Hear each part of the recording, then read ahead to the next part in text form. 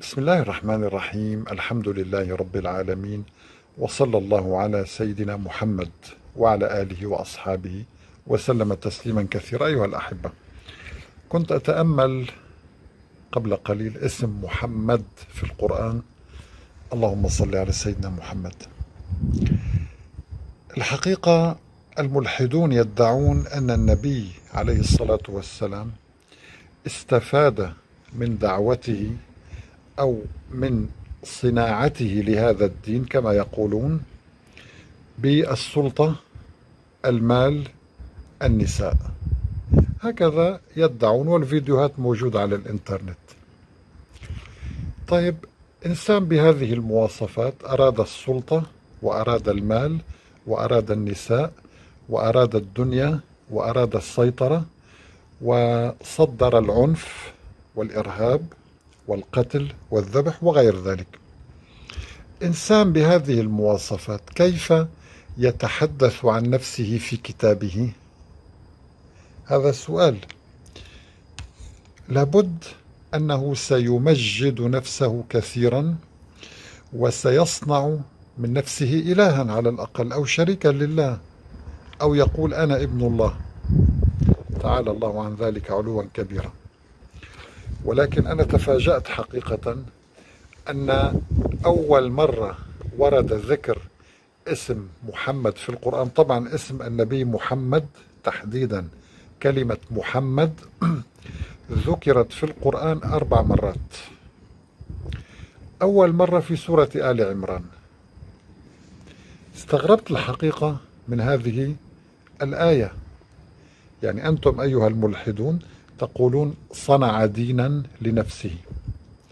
طب عندما يذكر اسمه لأول مرة في كتابه الذي هو ألفه كما تدعون يقول فيه وما محمد إلا رسول قد خلت من قبله الرسل أفإن مات أو قتل انقلبتم على أعقابكم ومن ينقلب على عقبيه فلن يضر الله شيئا وسيجزي الله الشاكرين.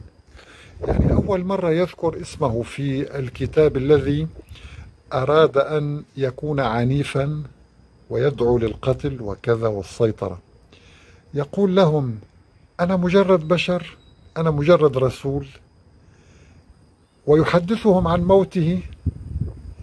إذا أيها الأحبة هذه الآية كفيلة أن تثبت أنه رسول الله لأن الدكتاتور لا يفعل ذلك. الدكتاتور يقول أنا الخالد أنا سأكون مخلدا أنا سأكون كذا أنا كذا. أما أول آية يحدثهم عن موته ويقول لهم أنا سأموت انتبهوا. انتبهوا أنا سأموت. فلا تنقلبوا على أعقابكم. ويختم الآية وسيجزي الله الشاكرين. وسيجزي الله الشاكرين يذكرهم بالله عز وجل. طيب هذا يدل على أن هذا الكلام ليس كلام محمد صلى الله عليه وسلم. هذا كلام الله. وما محمد إلا رسول قد خلت من قبله الرسل. هذا أسلوب إله يتحدث. يخاطبنا ويقول لنا انتبهوا النبي محمد هو رسول. إياكم أن تعبدوه إياكم أن تجعلوه إلها كما فعل النصارى. جعلوا من النبي عيسى وهو عبد من عباد الله جعلوا منه إلها. إياكم أن تفعلوا ذلك. طيب يا أخي على الأقل على الأقل النبي صلى الله عليه وسلم كان يعيش وسط مشركين يجعلون من الحجارة آلهة. ووسط نصارى كان في يعني في في مكة وفي المدينة وفي آه، كل مكان كان موجود النصارى الذين يدعون أن عيسى ابن الله على الأقل إما أن يجعل نفسه إلها أو يقول لهم أنا ابن الإله لو كانت القضية يعني كما تقولون أو تزعمون. ولكن هو ذكرهم أنه مجرد رسول إياكم أن تنقلبوا على أعقابكم إذا مات هذا الرسول لأنه بشر. إذا أيها الأحبة الآية الأولى تتحدث عن موت النبي صلى الله عليه وسلم. أفإن مات أو قتل انقلبتم على أعقابكم تحذرهم أن يرتدوا على أعقابهم. الآية الثانية وما كان محمد أبا أحد من رجالكم ولكن رسول الله أيضا تؤكد أنه رسول وليس إلها. طيب الآية الثالثة الله تعالى يقول في سورة محمد والذين آمنوا وعملوا الصالحات وآمنوا بما نزل على محمد وهو الحق من ربهم كفر عنهم سيئاتهم وأصلح بالهم. إذا آية تتحدث عن ضرورة الإيمان بما نزل على محمد. إذا يؤكد لك أن محمد هو عبد لله سبحانه وتعالى. يؤكد لك أن هذا القرآن أنزل عليه ليس كلامه. يعني أنا سؤال آخر. آه إنسان أنتم تقولون صنع دين للنفس وصنع كذا وكذا وكذا وكانت لديه قوة هائلة.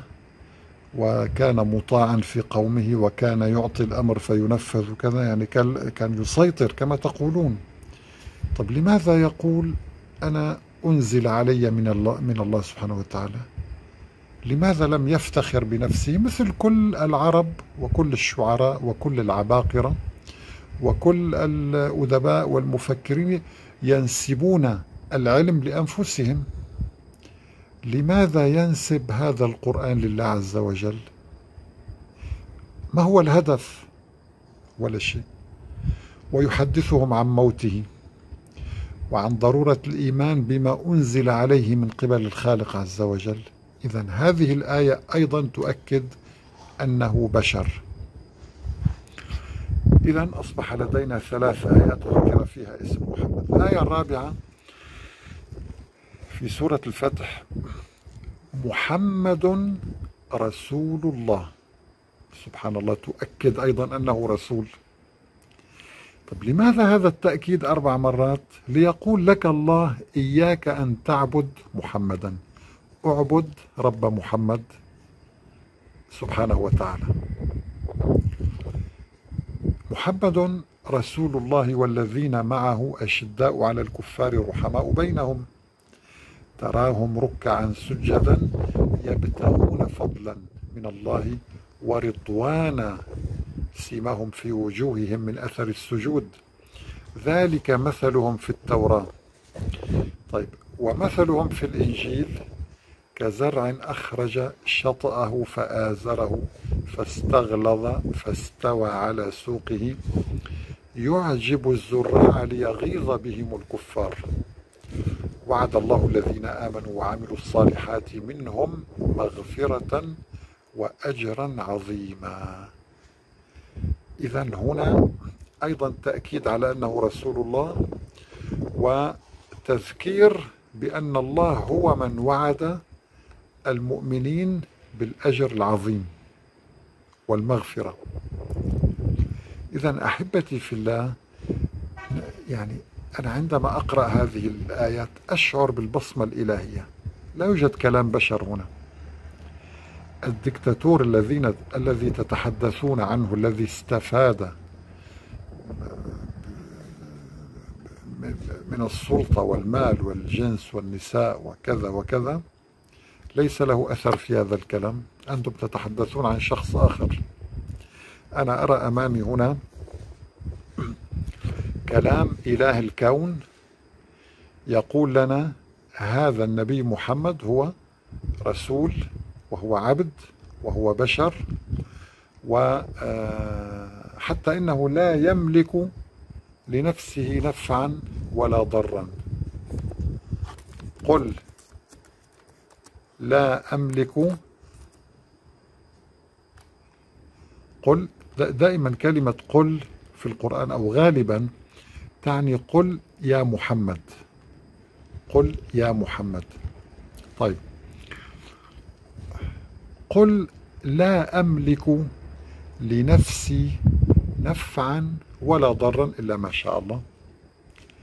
وهو يقول لنا أنا لا أضر ولا أنفع. طيب بالله عليكم. اليوم شخص إنسان ضعيف لديه القليل من السلطة يقول لك أنا أستطيع أن أضر وأنفع وأفعل وأفعل وأفعل كذا وكذا. طيب هذا رسول الله يتبعه ملياري إنسان اليوم. 2 مليار إنسان يتبعونه. يقول لا أملك لنفسي نفعا ولا ضرا إلا ما شاء الله. إذا ويبدأ بكلمة قل ليؤكد أن أن هذا الكلام ليس كلامه. الله يقول له قل. طيب لماذا هذا الأسلوب لا نجده إلا في القرآن؟ سؤال سؤال للملحد الذي يدعي أن النبي صنع دينا لنفسه. لماذا أسلوب قل لا نجده إلا في القرآن؟ أعطوني كتاب فيه قل لا يوجد. ولا كتاب.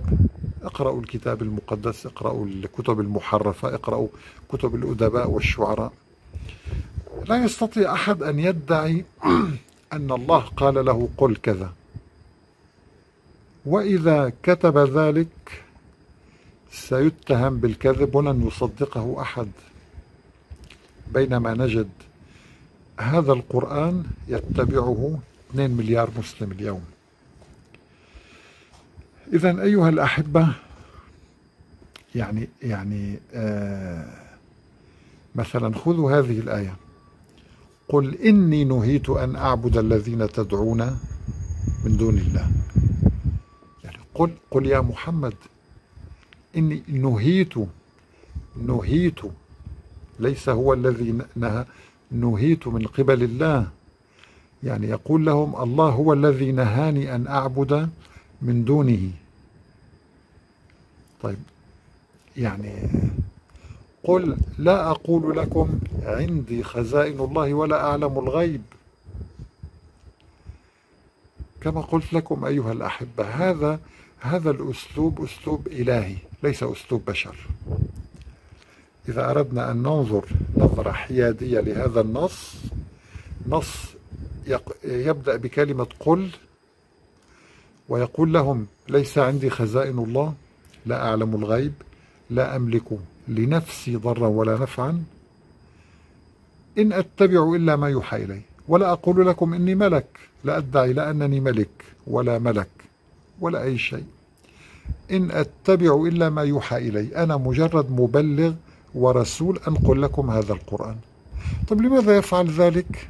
طب أعطوني مثال في التاريخ في التاريخ. يعني إنسان آه جاء بكتاب مثل القرآن كتاب يعني آه رائع جدا تعاليم فيه كل شيء فيه التشريع وفيه الأحكام وفيه الإعجاز وفيه القصص وفيه البلاغة. ثم يقول لهم هذا الكلام ليس كلامي أنا مجرد ناقل ومجرد مبلغ إن أتبع إلا ما يوحى إلي. قل هل يستوي الأعمى والبصير؟ أفلا تتفكرون؟ يأمرهم أن يشغلوا عقولهم. يقول لهم تفكروا هذا كلام إله عظيم ليس كلامي. والنبي مات ولا يملك من متاع الدنيا شيئا كما تعلمون. مات ودرعه كما في البخاري. مرهونة عند يهودي على ثلاثين صاعا آه، من شعير. يعني آه، كيف تقولون استفاد ماديا؟ يعني لم يستفد ماديا. طب هل كان يعيش في قصر؟ لم يكن يعيش في قصور. هل كان لديه مزارع وأراضي وكذا؟ لم يكن لديه ذلك. إذا أفلا تتفكرون؟ إذا أيها الأحبة هذه الآيات التي ذكر فيها اسم محمد في القرآن الأربعة وكل آية من آيات القرآن إذا نظرنا إليها نظرة حيادية نلمس آه، الكلام الإلهي ونلمس البصمة الإلهية في هذا الكلام ولا بد أن نعترف أنه رسول صادق في دعوته إلى الله تبارك وتعالى.